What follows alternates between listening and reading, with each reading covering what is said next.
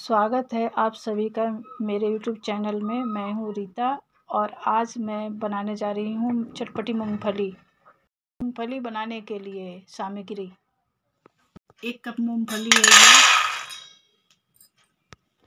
और ये चार चम्मच बेसन है और ये चावल का आटा करीब दो चम्मच है। चावल का आटा है, ये दो चम्मच। ये जलजीरा है, आधा चम्मच। ये थोड़ा सा लाल मिर्ची पाउडर है। ये आधा चम्मच नमक है, स्वाद अनुसार। ये आधा चम्मच धनिया पाउडर है। ये थोड़ा सा आधा चम्मच हल्दी पाउडर है। ये थोड़ा सा काली मिर्च का पाउडर है। थोड़ा सा जीरा पाउडर है। ये अमचूर पाउडर है। यदि अमचूर पाउडर आपके पास नहीं है तो आधा नींबू काट के डाल दीजिए। ये काला नमक है। आधा चम्मच। अब इसको मिक्स कर लेना है। थोड़ा थोड़ा पानी डालना। है ज़्यादा नहीं थोड़ा थोड़ा ताकि मूंगफली में ये सारे मसाले अच्छे से लग जाए, चिपक जाए। ज़्यादा पानी नहीं डालना है। देखिए, इस तरह से। देखिए मिक्स हो गया है अच्छे से। अब इसको रिफाइन में तल लीजिए। जो भी तेल ऑयल खाते हैं, उसमें इसको फ्राई कर लेना। देखिए, ज़्यादा गीला भी नहीं होना चाहिए इसमें एकदम चिपक जाना चाहिए, मूँगफली में रहना चाहिए इस तरह से। देखिए, तेल गरम हो गया है, अब मूँगफली को डालना है।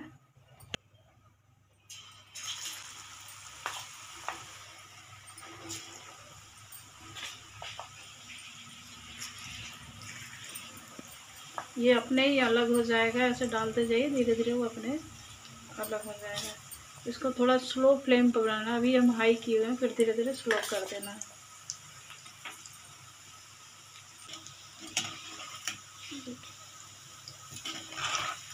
देखिए, इसको हल्के हल्के इस तरह से चला दीजिए, ताकि चिपके ना।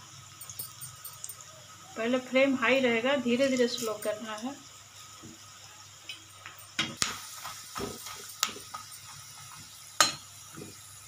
देखिए, अब ये, अब तैयार हो गया है बन के इसको ऐसे ही चलाइए, हल्का फ्लेम पे करके।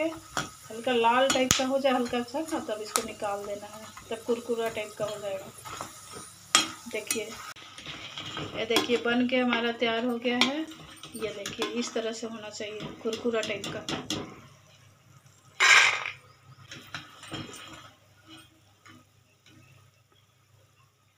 ऐसे किए रहिए ताकि उसमें का जो ऑयल है वो निकल जाएगा। तो पीनट्स बचे हुए हैं, उसको फिर उसी तरह से, इस तरह से तेल गरम करके डाल देना है। देखिए।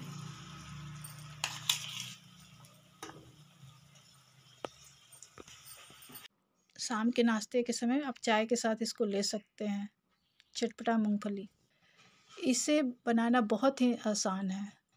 आप घर में बैठे बना सकते हो, कुछ चटपटा खाने का मन करे तो। स्वादिष्ट, बहुत बढ़िया लगता है खाने में कुरकुरा लगता है।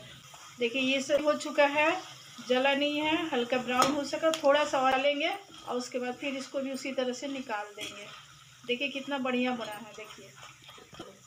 यदि आपको इसमें ज़्यादा ऑयल लग रहा है तो आप इसको निकाल के टिशू पेपर पर रख लें, ताकि टिश्यू पेपर ऑयल को सोख लेता है।